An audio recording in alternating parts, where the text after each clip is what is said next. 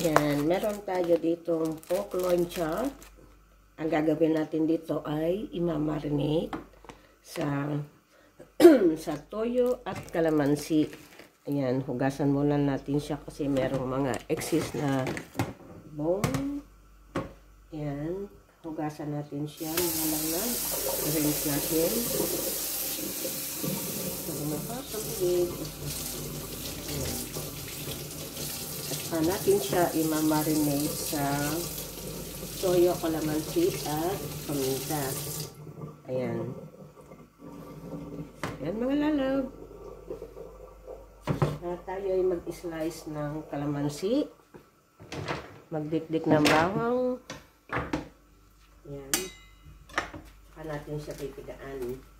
Para mas malinaw na nakabili tayo.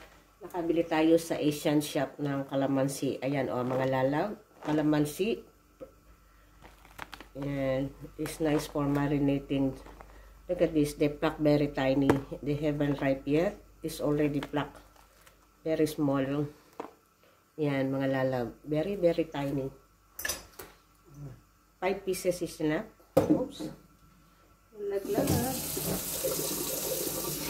Yan. I-marinate natin siya and then tonight at saka natin siya lulutuin.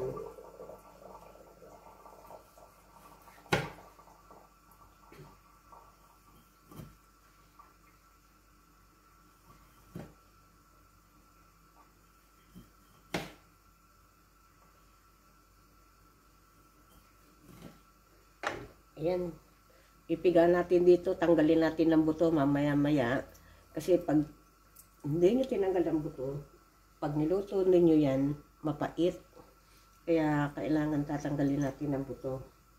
Pag lulutuin, yan. Hindi natin isasama ang buto sa pagluluto kasi mapait. Mapait.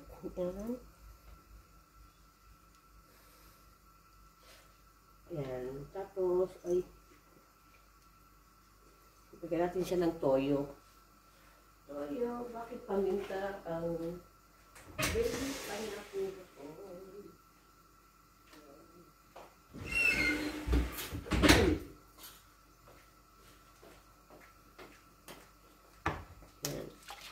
Meron tayo ditong toyo mansi, kalamansi soy sauce. Lagyan natin siya, marinate. Prito lang yan mga lalab. Mamaya, oops, naparami. Pero okay lang, gagamitin uli natin yan. Pinag And then, put natin siya ng paminta. Ayan, meron akong crack pepper. Ayan.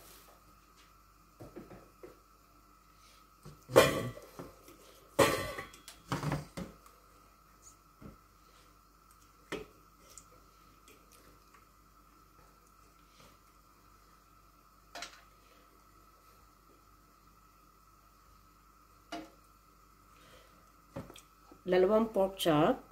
Yan, tamang-tama lang sa akin dahil manipis naman siya. Kaya, okay lang yan. And then, lagyan natin siya ng dinikdik na bawang. Ang lamig ng tubig.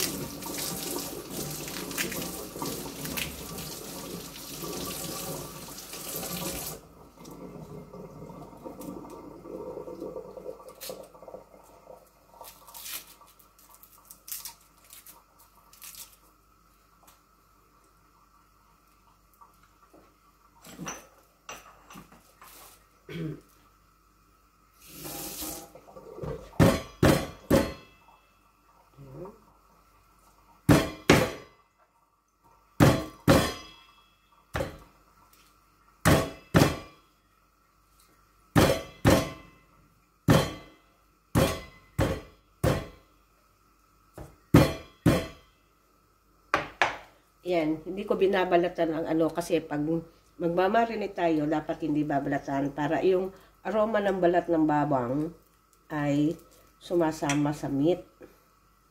Ayan, hindi na dikdik. Ayan.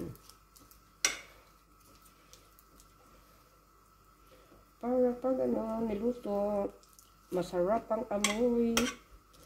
Ayan. And that's it for today. No need to put some salt because ang toyo ay maalat na.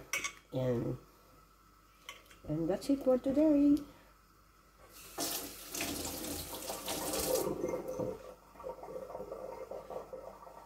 Ayan. Ito na ang aking marinated pork. Pork loin chop. Yan. Thank you for watching. Bye-bye.